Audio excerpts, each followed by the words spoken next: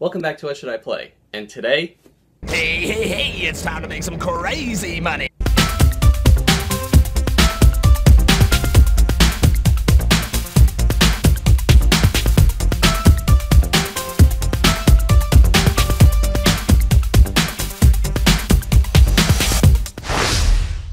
Crazy Taxi was released in arcades in 1999 by Sega on their Naomi hardware.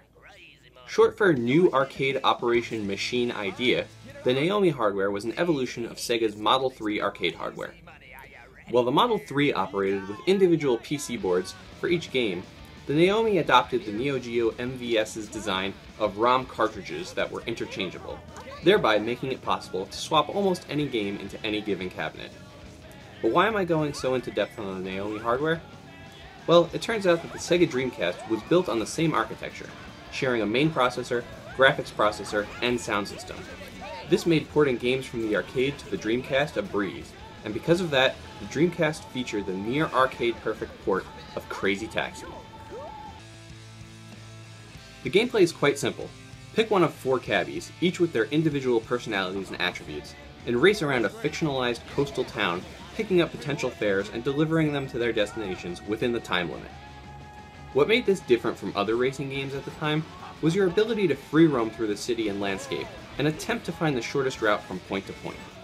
The world was populated, not just with other cars, but with numerous bystanders, helping to make the world's bustling parks and outdoor cafes come alive. Another feature of Crazy Taxi that really brought it to life was its energetic, fast, pop-punk soundtrack. Featuring songs by The Offspring and Bad Religion, even though the playlist was short, the sense of urgency they added to the game got your blood pumping and your heart racing.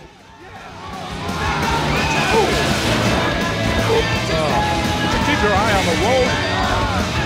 Come on, let's go. Yeah, just a second. Count on the next one. Thanks. Crazy Taxi is also an example of some of the most prolific product placement in video games.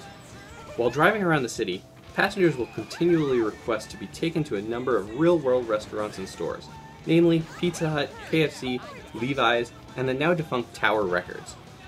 Though they were likely added for advertising reasons, it really makes the world feel believable.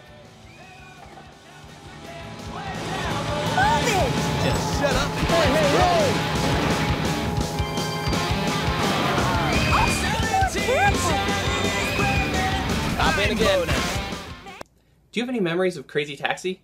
How about games that have awesome soundtracks? And what was your favorite example of product placement in games? Let me know in the comments below. And as always, thanks for tuning in. If you like this video, be sure to subscribe, follow me on Facebook, like me on Twitter, and come back next time when I help you figure out what you should play. Click here to check out last week's episode.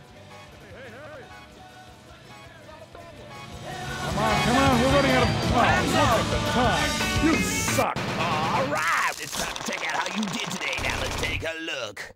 Class E license. No, no, not good enough. You need some practice. Go on, get back out there. Game over.